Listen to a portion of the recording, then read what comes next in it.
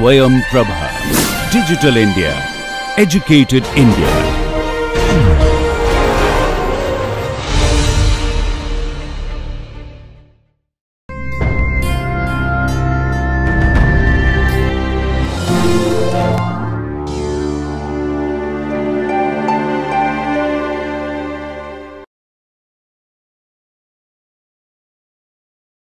In this lecture, I'm going to discuss finitely generated modules and their relationship with the ascending chain condition for modules, which is also known as the Noetherian condition. So let's start with uh, finitely generated modules.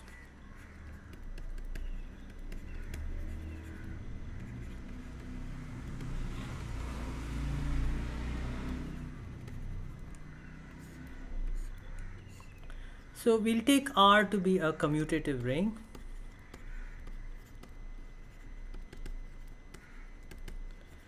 And um, we define an R module M to be finitely generated. So M is an R module.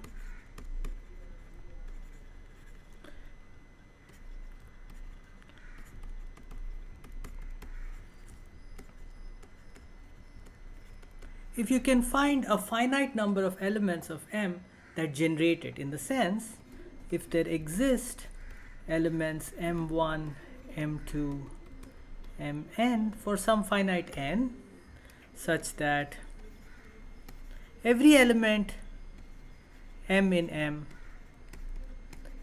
is of the form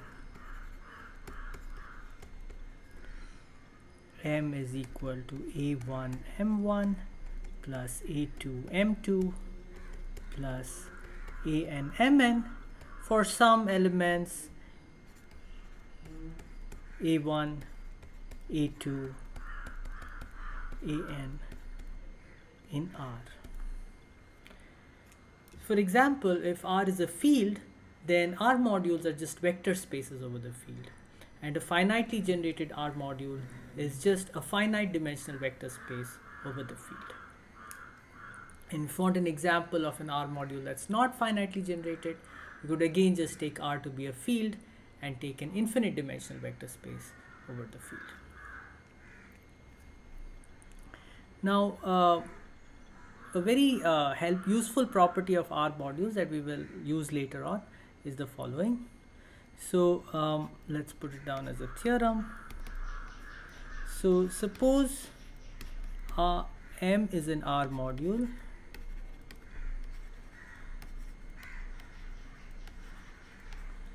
n a submodule of M.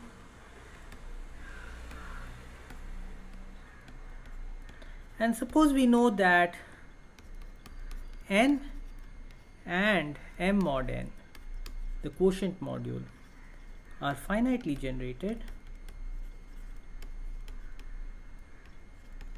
then we can conclude that m is also finitely generated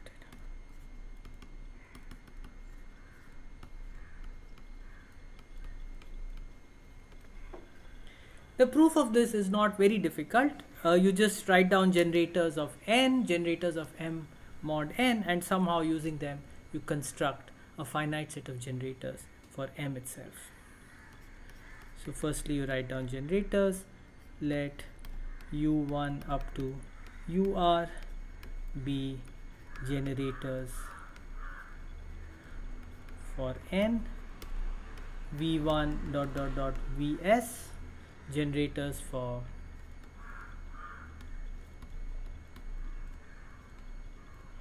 m mod n and now we'll put these together to construct a generating set for m. Now the problem is that these v1 v2 vs they are in the quotient space m mod n they're not in m. So what we'll do is we'll just lift them up to m.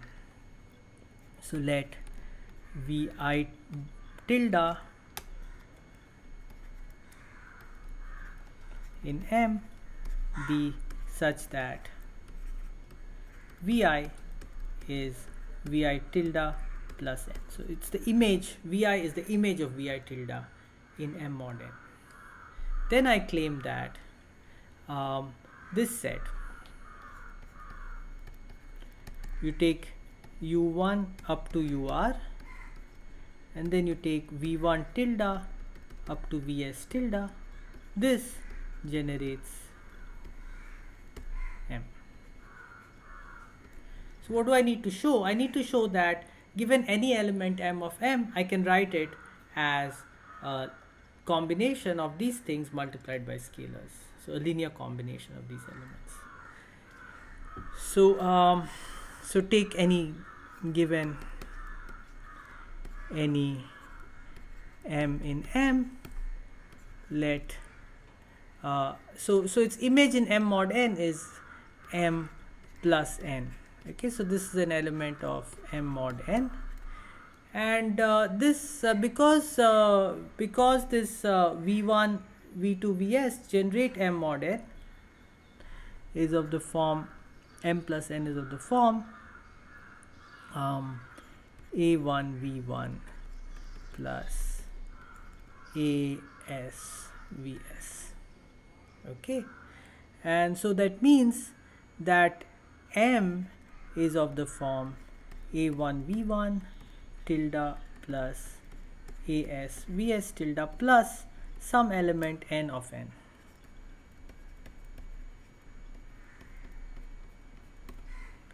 But then this element n is in n so it can be written as so this is for some a1 as in r. And this n can be written as a1 as vs tilde plus b1 u1 plus br ur for some b1 br in r. So at the end of the day we've written m as a linear combination of the vectors um, well the module elements v1 tilde up to vs tilde and u1 up to ur so a corollary of this is uh, if m and n well rather a special case if m and n are finitely generated R modules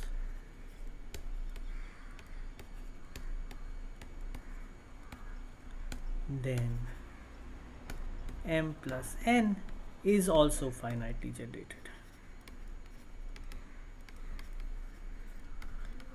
Of course, this may be much easier to prove than as a reducing it as a corollary of the previous theorem.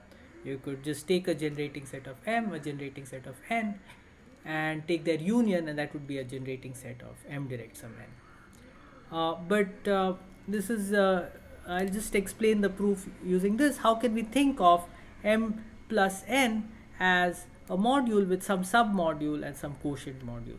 The point is uh, m is a submodule of m plus n and m plus n mod m is isomorphic to n. So this submodule is finitely generated, this quotient is finitely generated so by the previous theorem, m direct sum n is also finitely generated. It's a slightly different proof. And uh, one observation about finitely generated R modules. So suppose our uh, module M is generated by M1, M2, Mn then define an R module homomorphism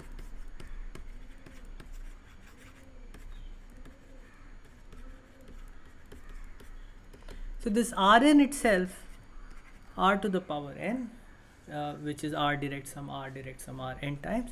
This is an R module and we define an R module homomorphism this to M by taking, uh, so in this you let ei denote um, the element which is 0 at all places except for a 1 at the, the unit at the ith place. Okay a coordinate vector so to speak. By taking ei to mi and um, what we have is that um, we'll call this map phi and uh, let k be the kernel of phi.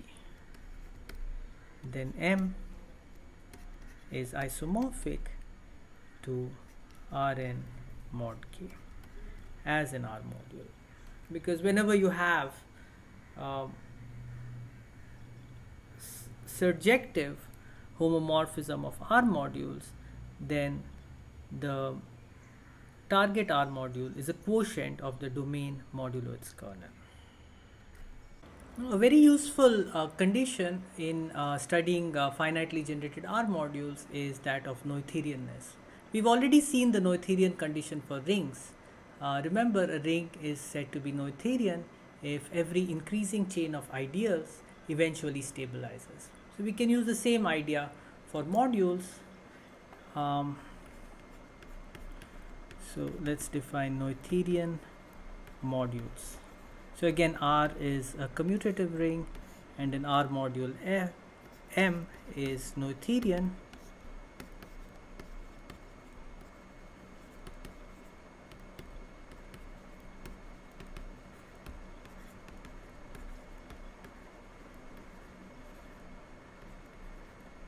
it's said to be Noetherian if it satisfies what is called the ascending chain condition.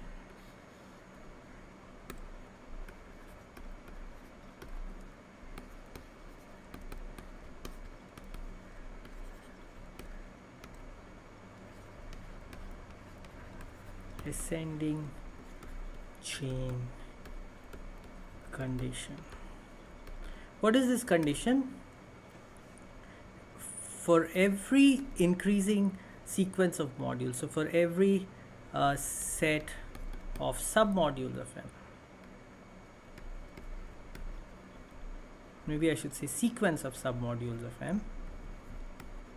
See, it starts with M1, which is contained in a submodule M2, which is contained in a submodule N3, and this goes on uh, indefinitely there exists a number n greater than or equal to 1 such that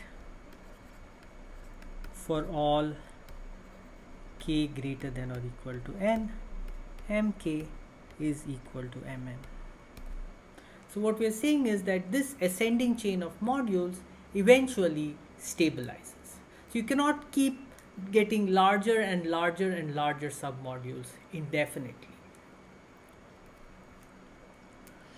and uh, the relation to finite generation is uh, quite uh, straightforward to start with. We can show an easy lemma that if m is noetherian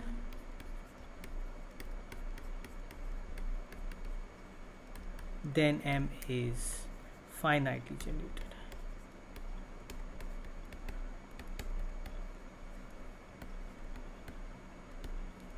Well the way to prove this is by contradiction. If M is not finitely generated, then it's quite straightforward to construct an ascending chain that never stabilizes. Okay, so suppose uh, M is not finitely generated.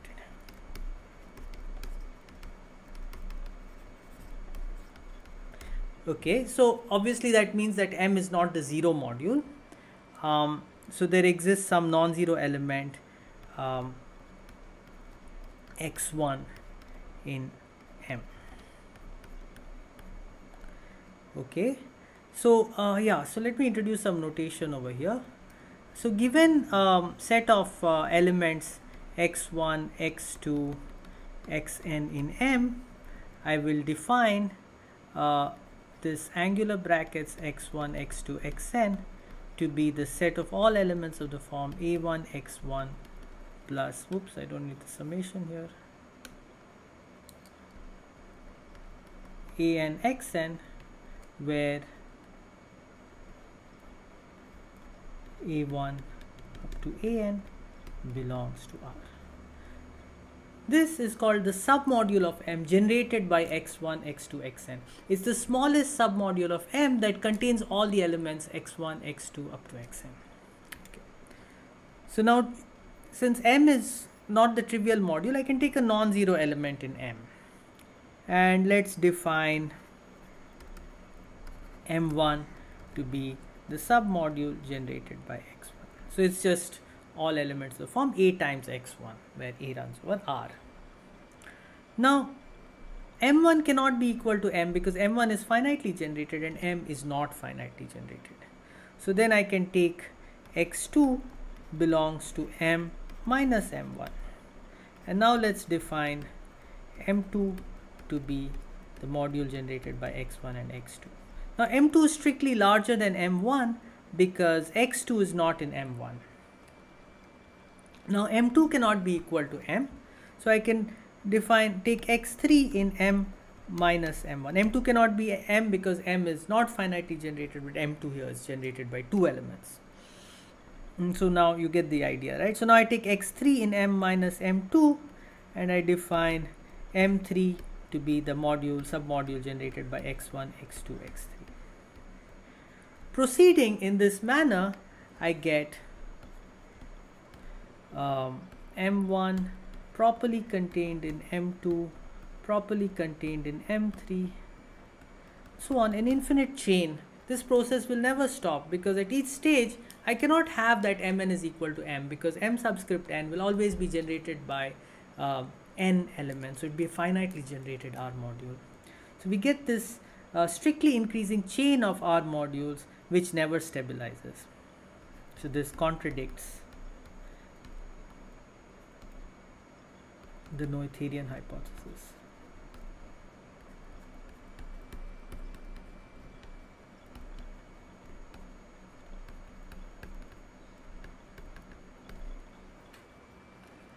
Okay, so there's the first relationship between Noetherianness and finite generation. Okay, so um, Noetherian modules are finitely generated. Is that all there is to it? Is, is the Noetherian condition just the same as being finitely generated? The answer is no. The Noetherian condition is actually much stronger than uh, the condition of being finitely generated. And one nice thing about the Noetherian condition is that it goes easily from modules to submodules. Okay, so here's something that's easy to see that if M is Noetherian, N a submodule, then N is Noetherian.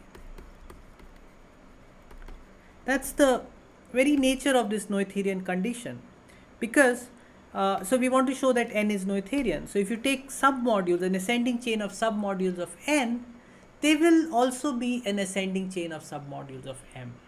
So they will stabilize. So a submodule of a Noetherian module is Noetherian.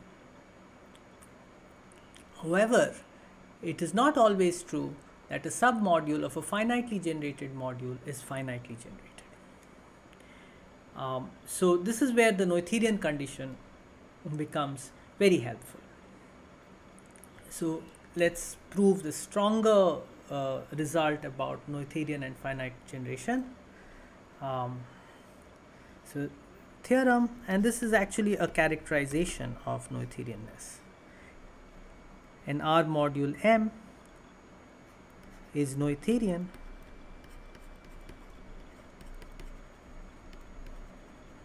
if and only if every submodule of M is finitely generated.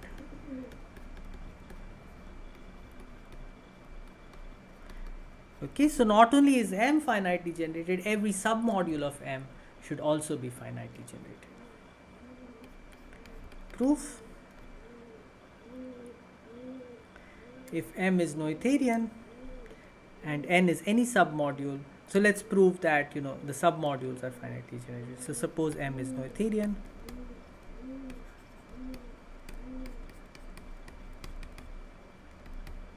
and N is any submodule. Then of course N is Noetherian.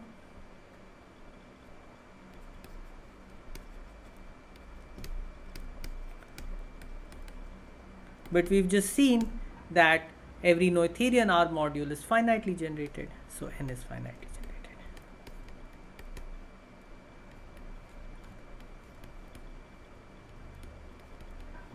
Okay so this side is easy.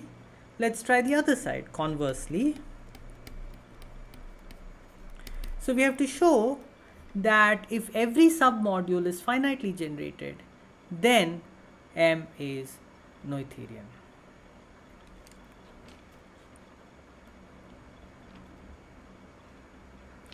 So let's start with an ascending chain.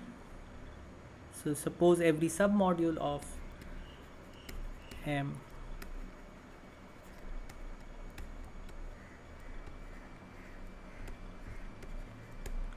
is finitely generated.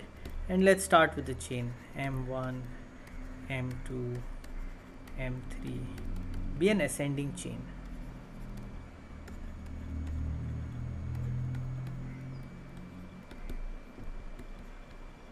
now what you can do is you can take m infinity to be defined to be just the union n goes from 1 to infinity of mn and it's not difficult to show that m infinity is an R module.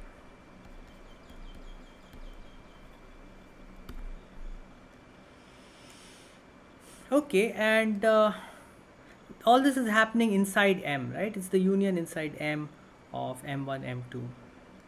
These are submodules in M. Okay, so it's a submodule of M. And uh, so m infinity is a submodule of m. M infinity is finitely generated. So let's say m infinity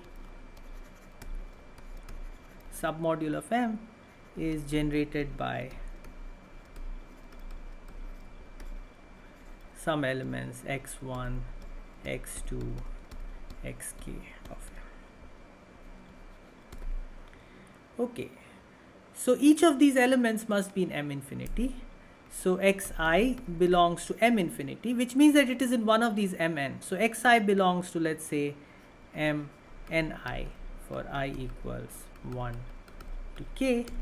And uh, just uh, means that uh, xi belongs to the max of um, n1 n2 nk let's call this number n so all the xi's belong to um, m capital N but then uh, these xi's generate m so that means that uh, m capital N is equal to m.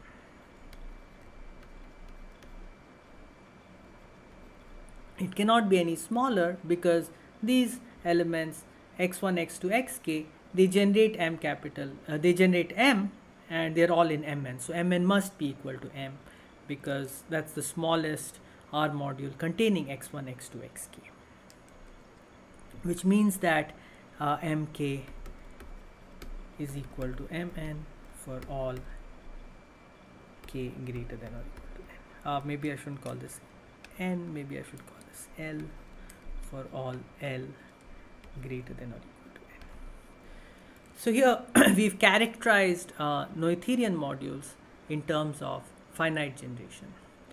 An R module is Noetherian if and only if every submodule is finitely generated.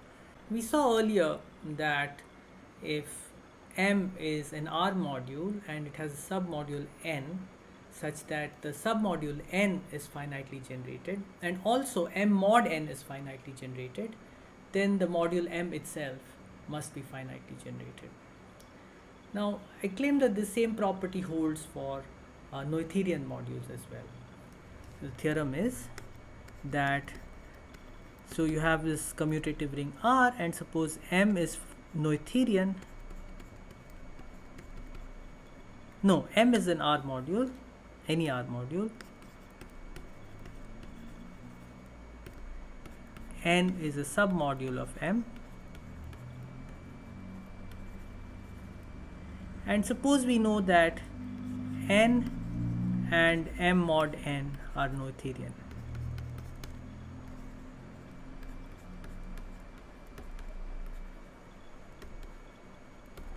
Then I claim that m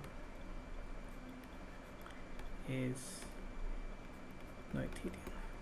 In fact, this uh, theorem will follow easily from um, the earlier result that I stated about finite generation and the characterization of uh, Noetherian modules as those modules for which every submodule is finitely generated. So proof is we will just show that uh, every submodule of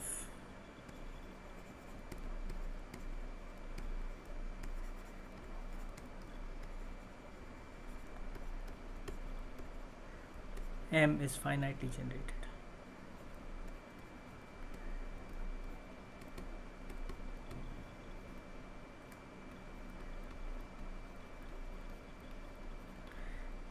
So yeah, suppose M prime is a submodule of M.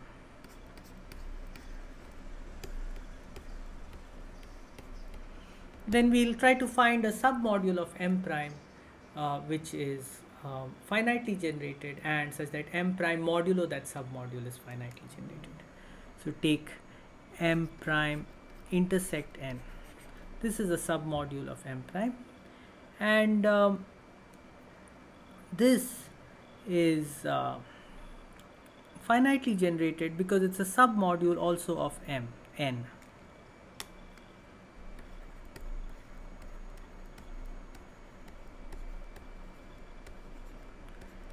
N is Noetherian, so M prime intersect N is finitely generated.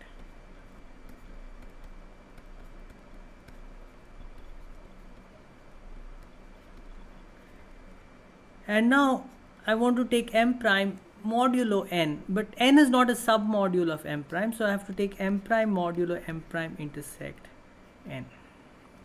Now the inclusion map of m prime into m, so you have m prime goes into m.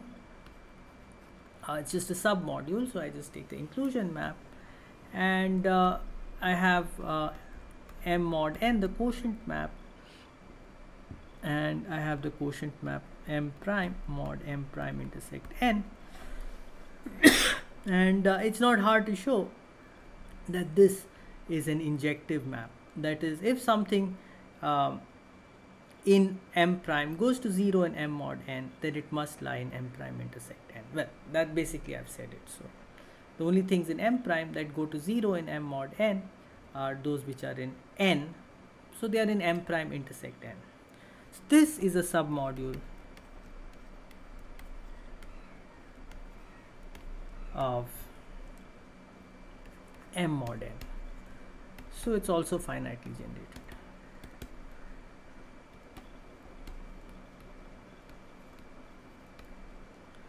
So this M prime has a submodule which is finitely generated and the quotient by that submodule is also finitely generated.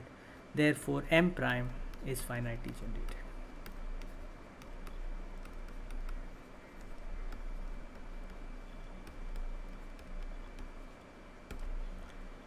This means that M is Noetherian because every submodule is finitely generated.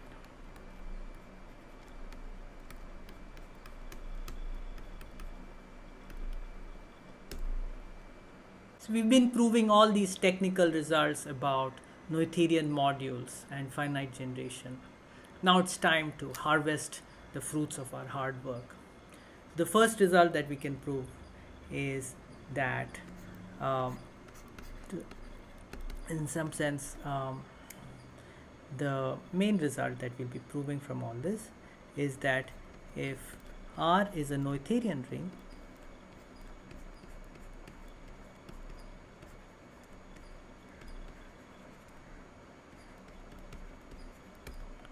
then every finitely generated R module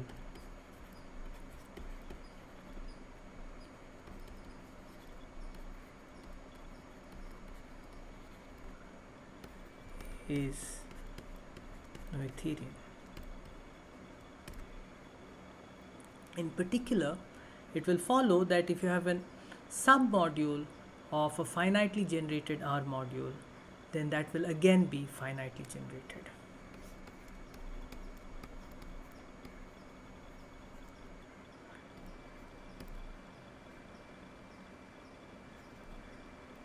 any submodule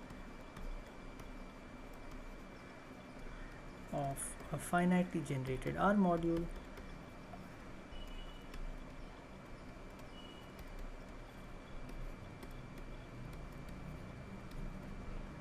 is finitely generated.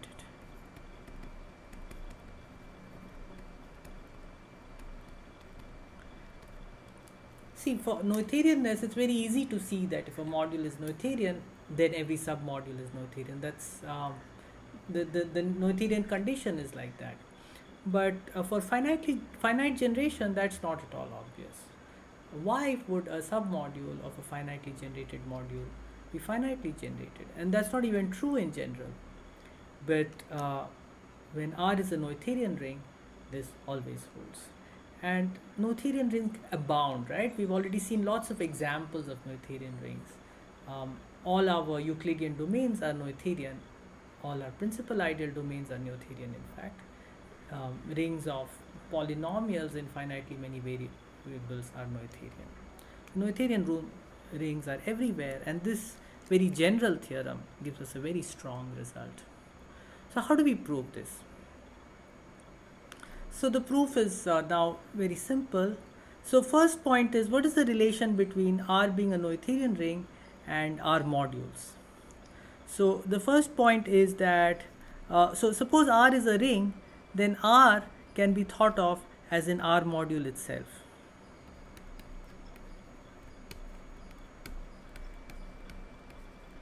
Um, how? Well, you just, uh, if given M in R, and R in R.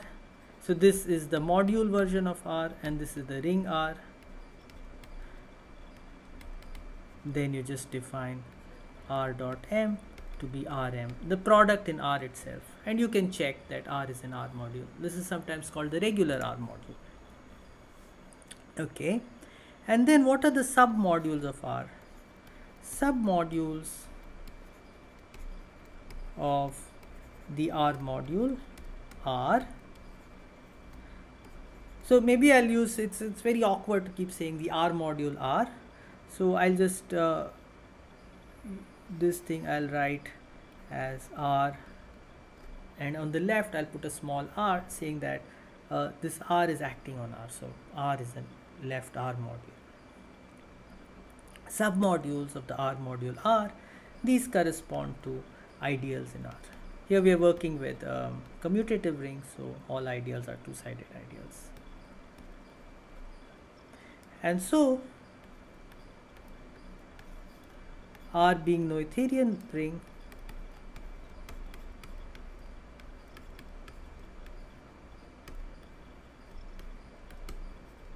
is the same as R as a left R module is a Noetherian R module.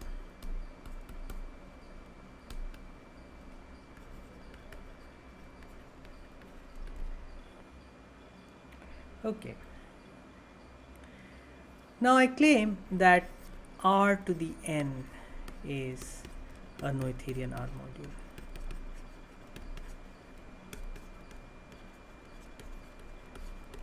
So this is just um, R as an R module, direct sum R as an R module, direct sum R as an R module. This direct sum is taken n times. And why is this true? Well, you can prove it by induction on R. This is R to the n minus 1 direct sum R. This has a submodule Rn minus 1 and the quotient is R. So this contains Rn minus 1 as a submodule and Rn mod R n minus 1 is isomorphic to R. So by this theorem that we proved that if um, you have an R module which has a submodule that's Noetherian and the quotient with respect to that submodule is Noetherian, then the R module is Noetherian. So it follows that R to the n is a Noetherian R module. Now, finally, every finitely generated R module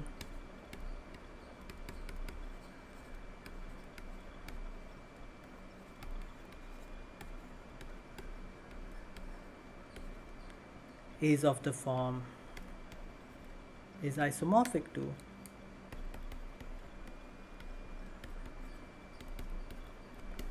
Rn mod n for some submodule n of Rn. We already saw this when we talked about finitely generated modules. You take if there are uh, little n generators, then you just take a homomorphism from Rn to your module, uh, which take the ith generator to the ith copy in, uh, to the ith take the ith coordinate vector in Rn to the ith generator in your module, and you'll get an isomorphism with Rn mod n.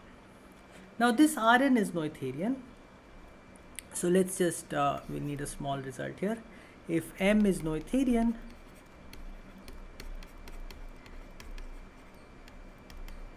and N is a submodule of M, then M mod N is Noetherian. This is easy because um, submodules of M mod n are the same as submodules of M containing n.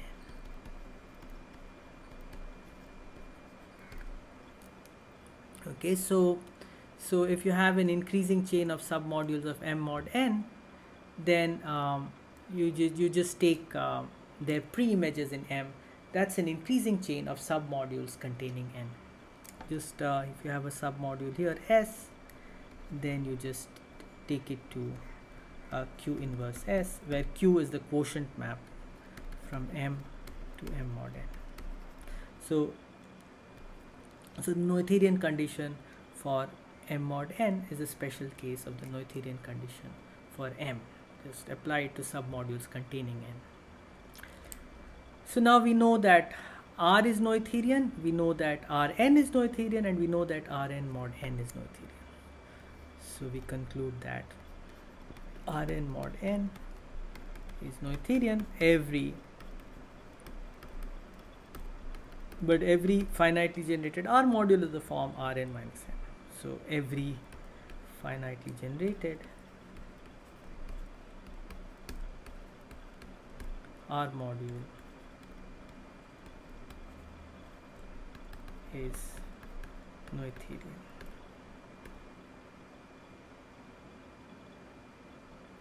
So what we have is any submodule of a finitely generated R module is finitely generated. So that's the main theorem of this lecture.